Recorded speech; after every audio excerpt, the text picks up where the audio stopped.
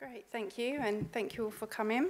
Um, yeah, sorry, I'm Caroline, and um, so I'm going to be talking about a project that I was involved in at the Metropolitan New York Library Council, um, Culture in Transit. So this was a project um, that ran from April 2015 to October 2016, um, and it was a partnership project between the Metropolitan New York Library Council, or Metro, um, as it's known, the Queen's Library and Brooklyn Public Library. So it was an externally funded project um, through the Knight Foundation, a philanthropic foundation um, in the United States.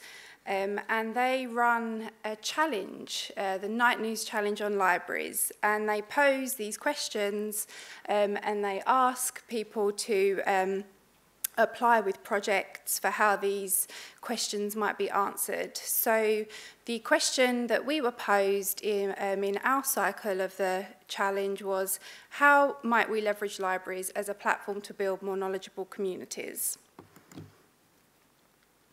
So the communities um, that we responded to for our project Culture in Transit were the neighbourhood communities of uh, New York City and also the library and archive community of New York City.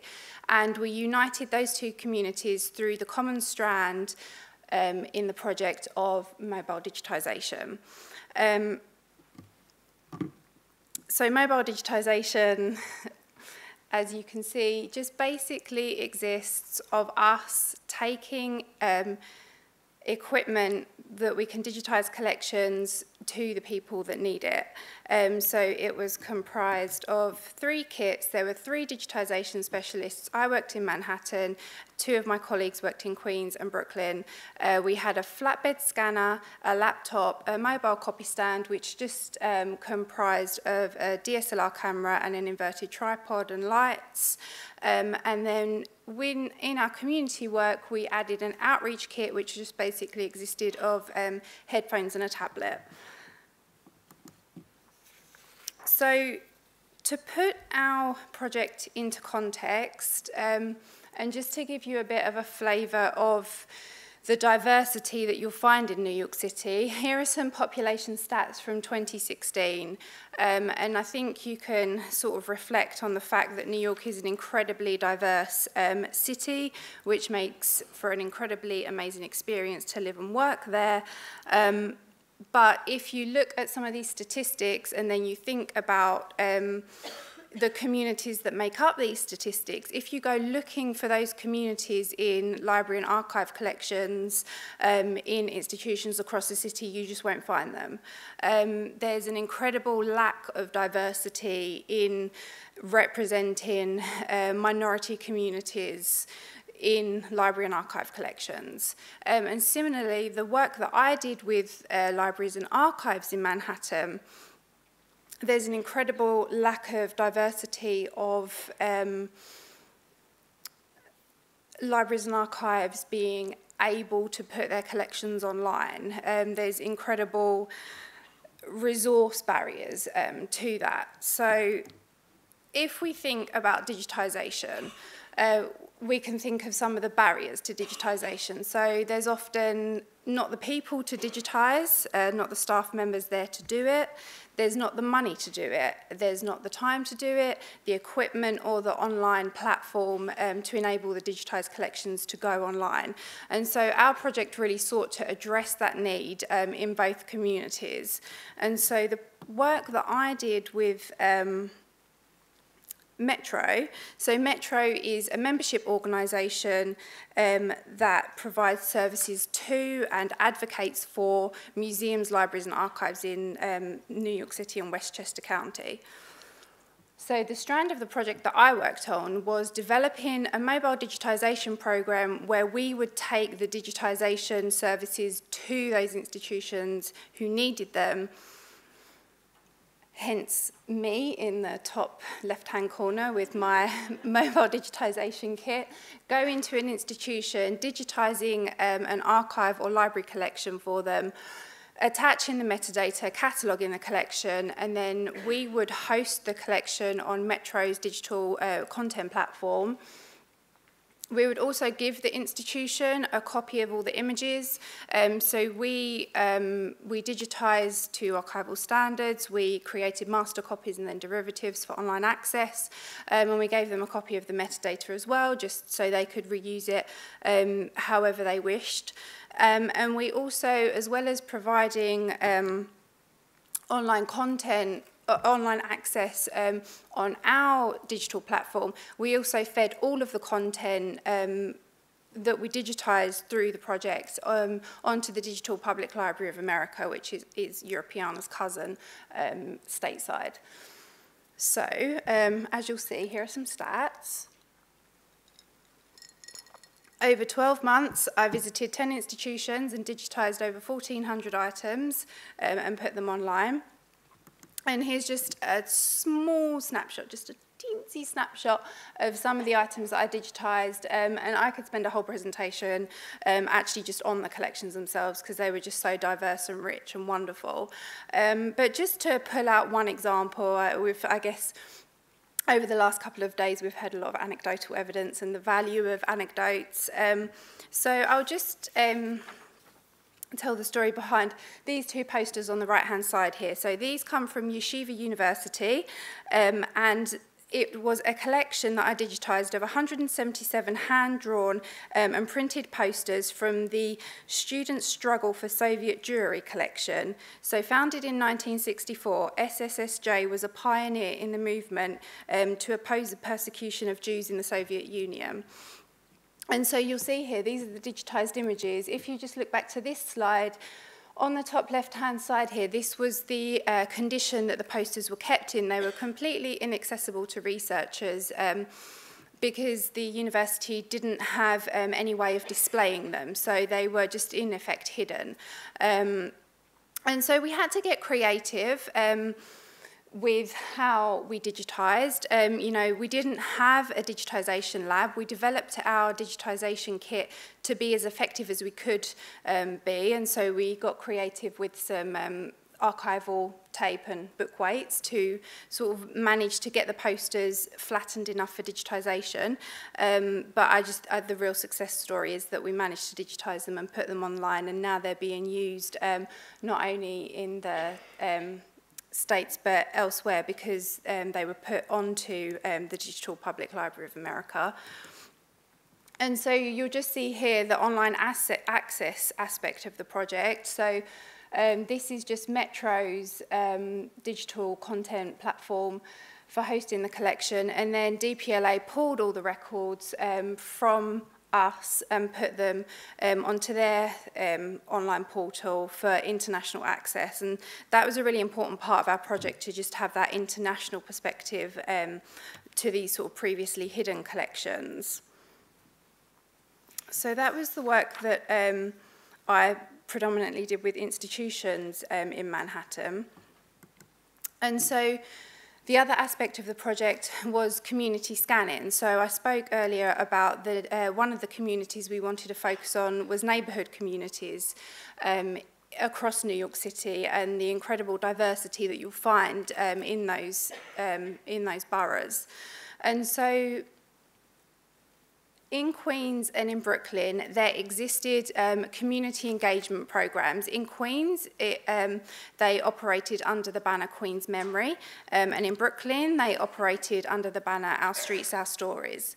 So these were predominantly oral history programs um, where they would um, go out to residents and record their stories of living in the boroughs. Um, but we upscaled these projects to include community scanning.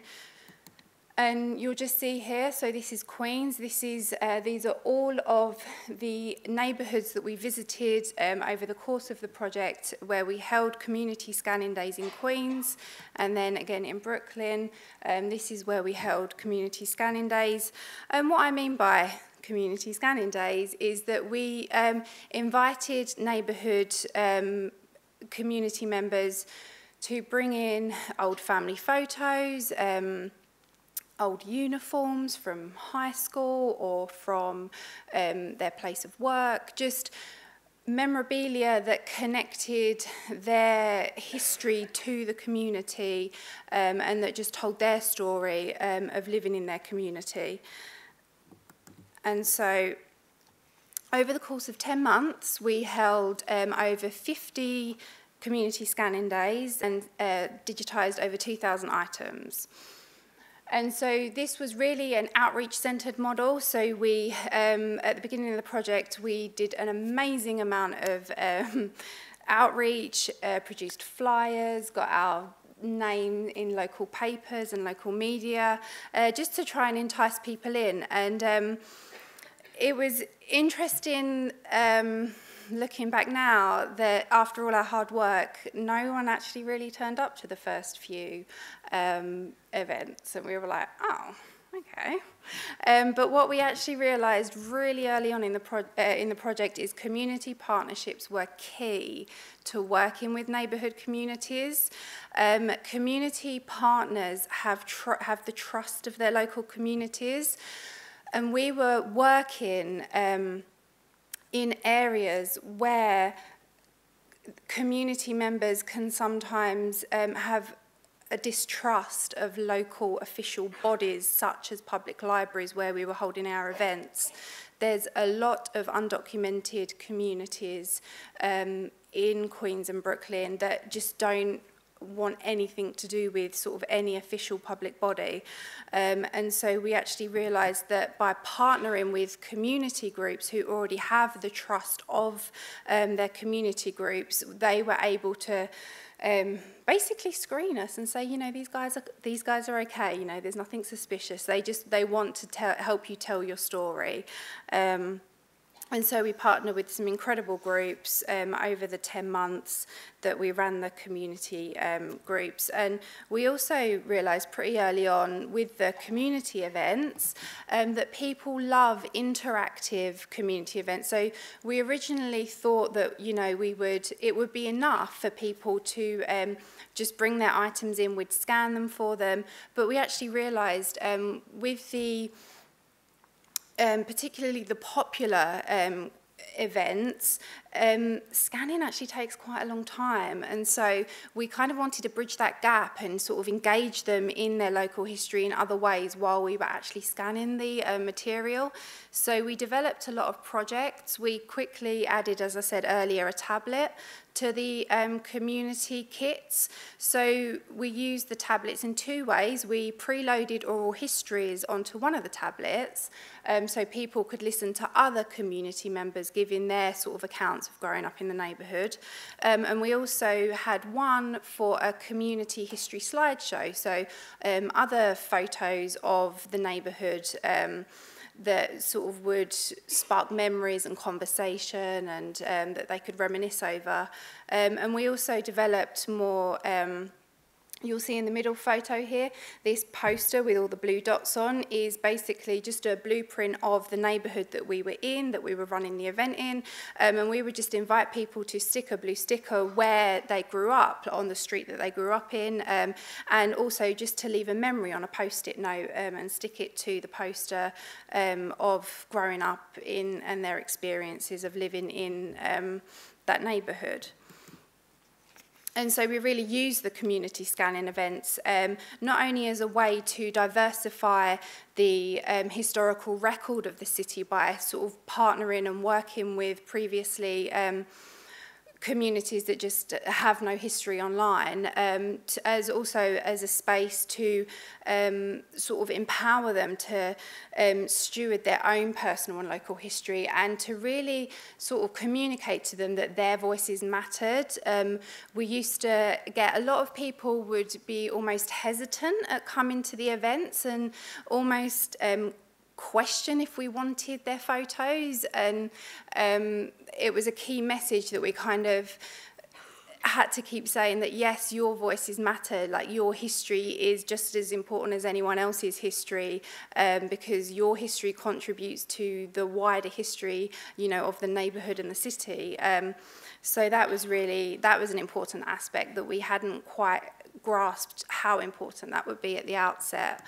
Um, and we also developed a brochure just to um, So with community members, we gave, as with the institutions, we gave them um, their original items back, but we also gave them a flash drive for their own digital images. So just as a way to um, sort of help educate them on their own sort of personal digital archiving at home.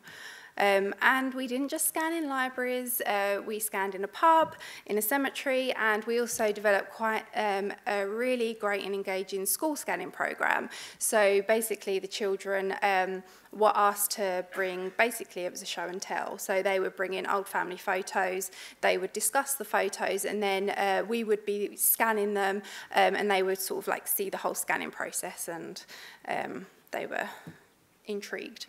Um, And so this is just, again, I could talk forever about some of the amazing content that we digitised at these community events, but here's just a sample. Um, and we've had some great, so the project ended over a year ago now. Um, all three aspects of the project in Queens, Manhattan and New, uh, Queens, Manhattan and Brooklyn, they're still uh, going in some capacity. Um, and we've had great feedback um, from community partners, We, uh, there was recently an, an event in Queens where they ran um, a similar event to what we were doing during Culture in Transit, um, where old uh, where community members were invited back who had contributed the first time, and they were seeing their um, the images that were digitized for them used to engage new audiences and that kind of gave them a sense of pride that actually their um, you know their voices and their history mattered um, and was just as important so that was the project in a nutshell